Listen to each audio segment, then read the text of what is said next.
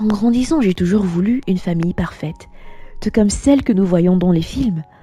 J'avais l'habitude de penser qu'une famille parfaite était une famille faite de deux parents vivants et des deux enfants, un garçon et une fille, ou d'abord une fille, puis un garçon ensuite, ou selon ce qui arrivera en premier, tant que les deux sexes étaient impliqués. Avant de continuer avec l'histoire, n'oubliez pas de cliquer sur la cloche de notification afin de recevoir des notifications à chaque nouvelle vidéo postée. Merci.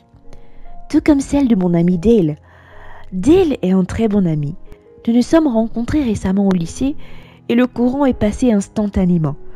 Dale est de ce que j'appelle une famille parfaite. Il n'y a que lui et sa sœur cadette et leurs deux parents. Ses oncles et tantes sont tous résidents des pays de l'homme blanc.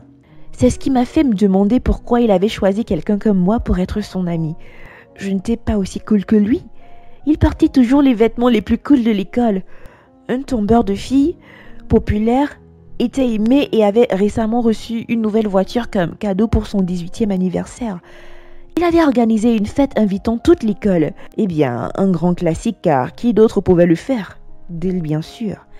De mon côté, je ne saurais dire grand-chose. Hey, Antello, pas de lecture dans ma fête, m'a-t-il dit. J'étais assise dans un coin tranquille et je lisais mon devoir. C'était une copie électronique dont je devais la relire avant de la renvoyer à notre professeur. Et contrairement à presque tout le monde ici, je me souciais de mes notes. J'ai presque fini, j'ai répondu rapidement en essayant de me lever. Je savais que si je le faisais pas, il prendrait mon téléphone de ma main et ce serait le cas pour tout le reste de la soirée. Bien que debout, j'ai tapé rapidement sur l'écran de mon téléphone et j'ai appuyé sur Envoyer. Terminé J'ai marché vers lui et je l'ai rejoint. Tu sais, il y a une raison pour laquelle l'école ferme les week-ends, afin que nous puissions nous détendre et récupérer. Et cela le vaut aussi pour toi, tu sais, a-t-il dit. Ah oui D'accord, c'est la raison pour laquelle tu as eu l'idée de faire entrer de l'alcool en contrebande dans ta fête dis-je. Puis j'ai pris une gorgée dans son gobelet en plastique. Mes yeux se sont précipités sur sa montre et j'ai grincé des dents à ce moment-là. Il est presque 11 heures, je dois rentrer à la maison. Saisissant ses clés de voiture, dont le porte-clés près de la porte, il m'a proposé de me ramener à la maison. J'ai refusé, mentant que mon père viendrait me chercher. Il haussa les épaules simplement et me laissa partir. Ce soir-là, je suis rentrée chez moi. Tout le monde dormait déjà. Je me suis frayé un chemin dans le salon, bondé, et je me suis couchée contente d'être arrivée en un seul morceau. Le réveil brutal de maman le lendemain matin ne m'arrangeait pas du tout. Il est temps pour l'église, Selena. Réveille-toi, ou tu seras en retard, cria-t-elle en me tapotant violemment. Je vous jure, maman n'était pas la plus subtile quand il s'agissait de réveiller les gens. Je ne peux pas, maman. Je crois que j'ai de la fièvre. J'ai menti. À ma grande surprise, elle m'a cru. Elle et mon père ont emmené mes six autres frères et sœurs à l'église, promettant de prier pour moi.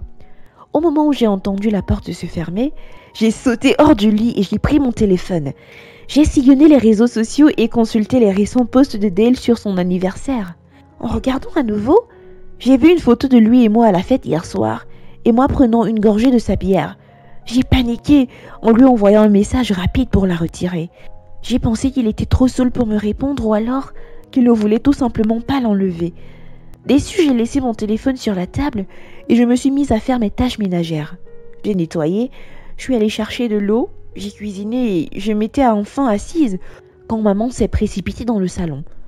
Qu'est-ce que ça veut dire, Selena? Tu bois de l'alcool maintenant? Maman, de, quoi tu parles? J'étais confuse. Je parle de ça Elle m'a sorti la photo avec Dale. Oh merde, je me suis dit en silence. Je t'ai élevé pour être meilleur que ça. Que fais-tu en compagnie de ce genre de foule? Je croyais que tu étais sorti étudier. Maman, je peux tout expliquer. Garde-le pour ton père. Je t'interdis de revoir ce garçon, a-t-elle déclaré. Maman, je ne sors pas avec lui. Il est juste un ami. Un ami alcoolique Est-ce pour ça que tu n'as pas voulu te rendre à l'église aujourd'hui? Selena, tu devrais savoir mieux que quiconque que la mauvaise compagnie corrompt la bonne moralité. Bébé Daniel a éclaté en sanglots, effrayé par les chances de mots entre maman et moi. C'est pourquoi je déteste être dans cette maison. Il y a tellement de bruit qu'il est difficile d'organiser quoi que ce soit. Je ne peux même pas emmener mes amis ici à cause de ce qu'ils verront. Ma voix était tellement haute que ça se sentait que j'étais dégoûtée. Alors tu as honte de ta famille? Tu as honte de nous? Papa nous a surpris.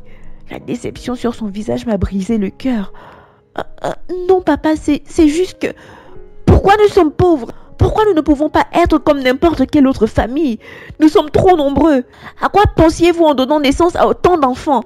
Maman m'a coupé avec une gifle bien appliquée. J'étais manifestement allé trop loin. Tu ne parles pas ainsi à ton père. Respecte tes aînés et sois une bonne fille comme nous t'avons élevée. Et si tu veux continuer à vivre sous notre toit, tu suivras les règles que nous avons fixées, dit maman d'un ton ferme. J'ai regardé vers papa comme pour vérifier s'il était d'accord avec ce que maman disait. Papa m'a regardé avec une telle pitié et s'est contenté de murmurer Tu as toujours été ma préférée. J'étais exaspérée et je suis sortie en claquant la porte. Les larmes m'ont aveuglé les yeux et j'ai fait une pause pour respirer. C'était la première fois que je me disputais avec mes parents. Je n'avais nulle part où aller à part. Trente minutes plus tard, j'ai frappé à la porte de Dale. J'étais accueillie par une domestique qui m'a conduit dans la section des visiteurs. Je me suis assise en jouant des doigts. En attendant que Dale descende, l'endroit avait été bien nettoyé et tout était nickel. Dale est arrivée avec une mine bizarre, me demandant ce qui se passait. J'ai expliqué sans entrer dans les détails la dispute que j'ai eue avec mes parents ce matin-là, et j'ai demandé si je pouvais me poser chez lui jusqu'à ce que je règle tout avec mes parents. Il a accepté, même s'il n'était pas très enthousiaste. Pour moi, j'étais sur la lune parce que j'avais la chance de vivre la grande vie, même si ce n'était que pour quelques jours. Nous devions dîner avec sa famille. J'étais excitée, je me suis habillée et je suis descendue. Pendant le dîner, j'ai essayé de faire la conversation, mais personne ne m'a prêté attention. En fait, il ne parlait pas beaucoup. La seule chose que j'ai dite, c'était l'autoprésentation et c'est tout.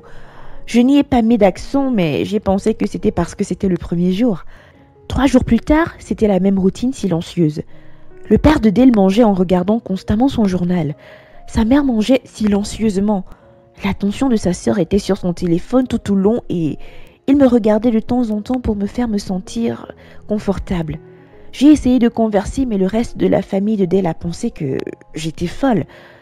Oh chérie, c'est mal de parler en mangeant, les bonnes manières à table, a dit sa mère. Je me sentais stupide. Sans le savoir, ma famille me manquait. Mes frères et mes sœurs me manquaient. Le fait de faire du bruit pendant que nous essayions de manger, bébé Daniel qui gémit dans nos oreilles lorsque la nourriture est trop chaude ou trop épicée, maman donnant des ordres et papa bénissant toujours le repas avant et après avoir mangé, je me suis levée de table et je suis allée dans la pièce qui m'avait été assignée à mon arrivée. Dale est venu me retrouver. Tout va bien il m'a demandé. Je veux rentrer à la maison, lui ai-je dit. Je pouvais lire la confusion sur son visage, puis la compréhension lui vint à l'esprit. Ma famille est trop silencieuse. Ne te fâche pas, ta famille est merveilleuse, mais c'est pas comme la mienne, lui ai-je dit. La folie de mes plus jeunes frères me manque. Mon père qui rentre tard du travail tout sale et malodorant me manque aussi. Je ne peux pas croire ce que je dis, mais entendre ma mère me crier dessus me manque. Dale m'a dit que c'était l'une des choses qu'il aimait chez moi, le fait que j'avais une famille normale. Nous ne sommes pas normaux, mais je trouve que nous sommes parfaits tels que nous sommes. Je suis rentrée chez moi ce jour-là. J'avais honte de moi, coupable et tellement embarrassée. Je me suis excusée auprès de papa et maman. Papa a souri et a chuchoté. Je te l'avais dit, tu étais ma préférée. Ils m'ont enveloppée avec un gros câlin en m'emmenant à l'intérieur. Plus tard dans la nuit, j'ai envoyé un texto à Dale et je lui ai dit que j'avais été pardonnée. Notre amitié s'est très bien poursuivie après cela. Chacun de nous suivons sa voie. Mais s'il y a une chose que j'ai apprise, c'est que chaque famille est bénie d'avoir des membres au caractère différent et que nous ne devrions pas en avoir honte.